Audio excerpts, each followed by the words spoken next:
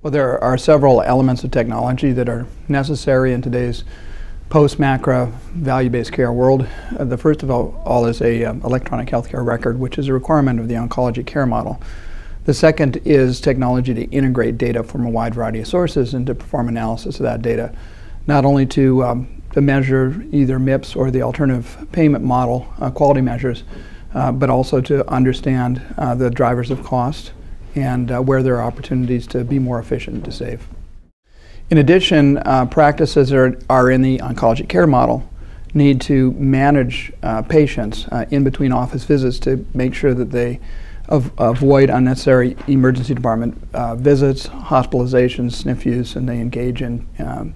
in uh, end-of-life um, palliative care and in hospice care. And so having a care management platform and technology and to engage with patients is essential. And in cases where they uh, aren't conducting clinical trials, they also need to have um, the ability to manage those trials, and that generally means some type of um, uh, clinical trials management system or ability to, um, to capture patient-entered data.